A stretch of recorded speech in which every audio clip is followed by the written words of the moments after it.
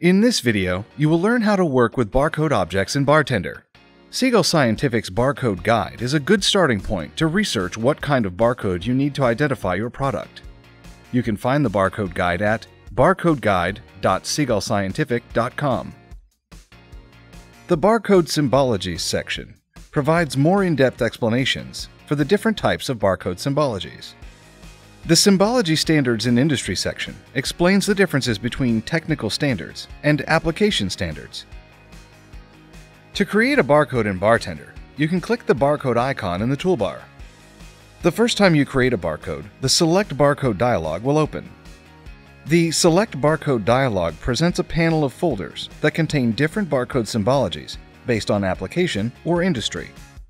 Or if you know the exact type of barcode that you need, you can type it into the search bar. Select the barcode. Click the Select button, and then use your cursor to place the barcode object where you want it on the template. BarTender will remember what type of barcode you selected and will present it to you as an option in the Recently Used Barcodes list the next time you create a barcode object. To create a different type of barcode, select the More Barcodes option to open the Select Barcode dialog. Once you have placed your barcode on the template, you'll want to replace the sample data with your data. Open the barcode object properties and select the data source from the data source list. The data source list contains all the data sources that make up the object. A barcode object can have multiple data sources. You can type your data into the embedded data field, or you can change the data source type to a database field. You can find more information on connecting to a database on the Seagull Scientific support portal. You can use the green handles on the barcode object borders to resize the object. You can further modify the size of the barcode object in the Object Properties by opening the Symbology and Size panel.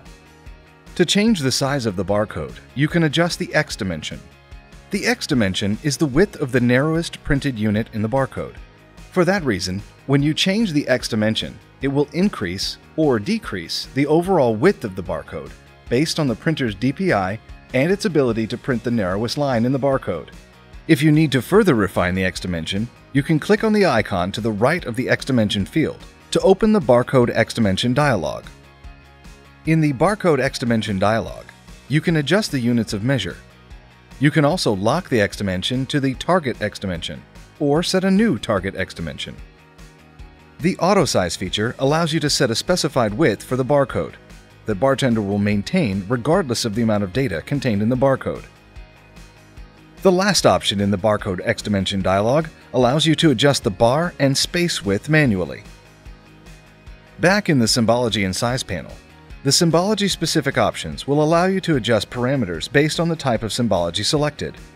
Some symbologies will provide a wizard that will walk you through building the data structure of your barcode. Others will provide available options for that symbology.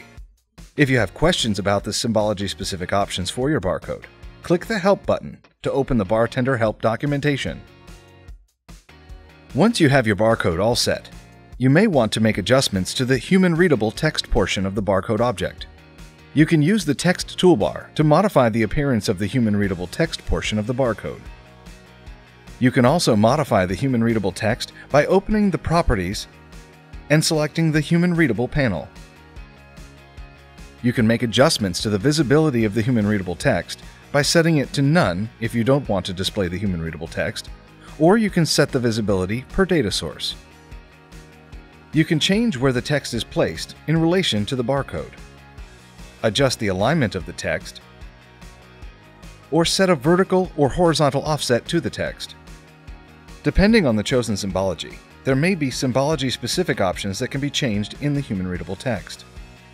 If you need to modify the data displayed in the human-readable text, you can use the human-readable transforms.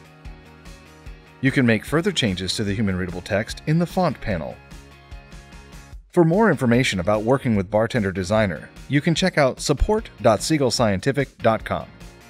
Thank you for watching.